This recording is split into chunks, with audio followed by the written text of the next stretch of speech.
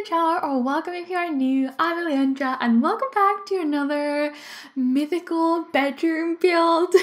I know I've done a lot of bedrooms lately, but I've been having so much fun with it and last time, was it last week or earlier this week? It must have been last week.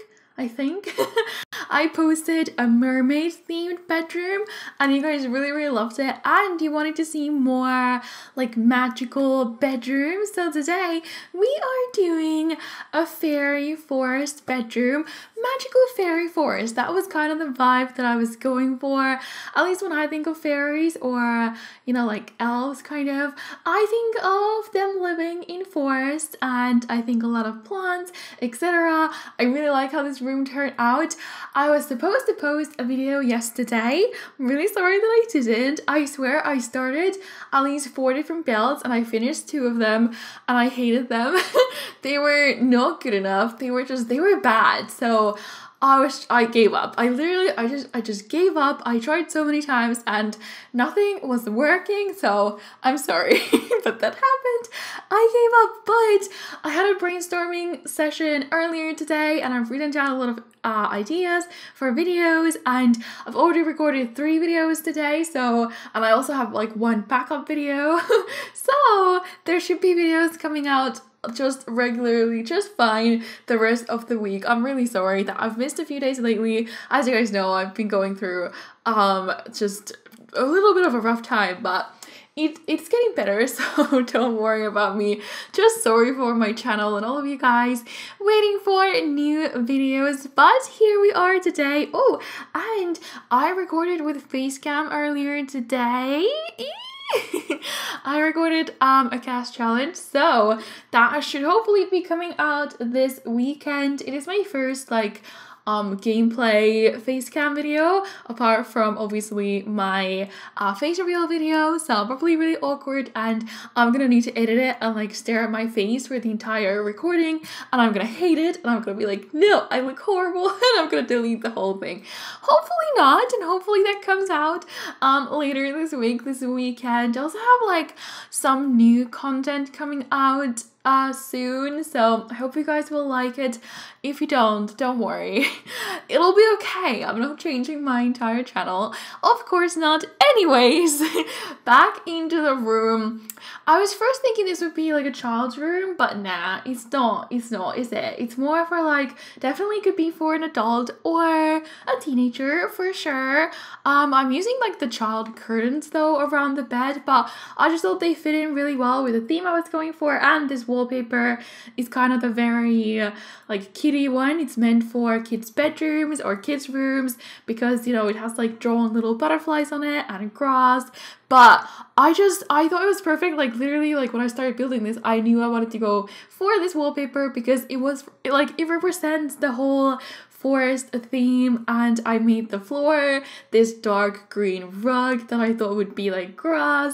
So I really like it and I used a lot of decals here because we have two different trees as decals. One of them, oh, actually I don't know where they're from.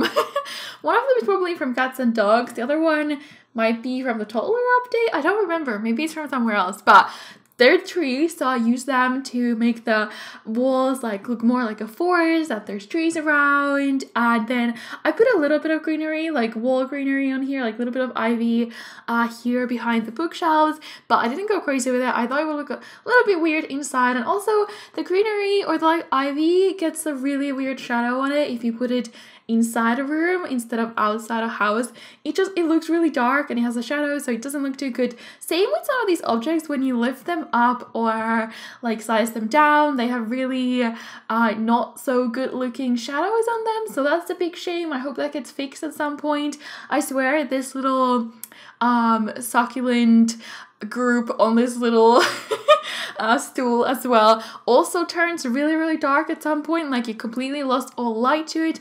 Don't know what happened but anyways oh my god my my like basic thought for this room was that i wanted the bed to be surrounded by the curtains. So it was kind of like a well you know those curtains in real life that we don't have in the sims where it's like above your bed and it's like hanging from this circle and it like goes all around your bed and it looks amazing it's like a little princess theme. I had that when i was a kid but obviously we don't have that in the sims like a circle curtain thing going around your bed. So I made my own and I wasn't gonna make this room a square, or not a square, sorry, a rectangle. I wasn't going to, but I just started it off that way because I thought I would just change it a little bit and add it, add into it to make it look more interesting, but I forgot and I left it as a rectangle. So sorry about that, but I guess that does make it easier for you to actually be able to put this in a house because sometimes when you have rooms that have like million different like I don't know, like parts to them. It's really hard to put it in a house.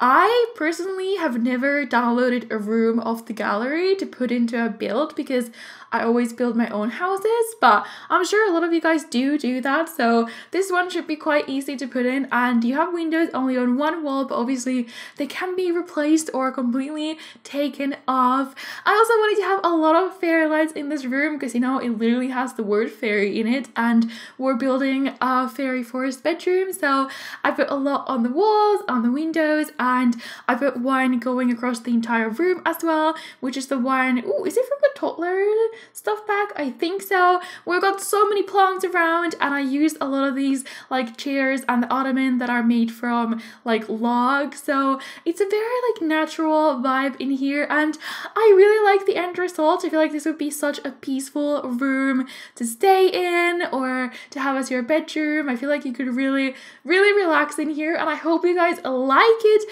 If you want to download this off the gallery, you can find it under my username, which is Elliandra YT or under the hashtag Elliandra. And definitely let me know down below in the comments what other room builds you would still like to see me do, what other magical, mythical creatures there still are. I was trying to build a unicorn room yesterday, but I just hated it. So if you have ideas what you think a unicorn room would look like, definitely let me know down below in the comments. Give this video a thumbs up if you enjoyed it and subscribe if you're new here. I post new Sims 4 videos pretty much every single day except sometimes when I have builder's block but here we are. I hope you guys are having a great day. Thank you so much for watching this and I'll see you guys again tomorrow. Bye! This time I'ma win it. This time I'ma win it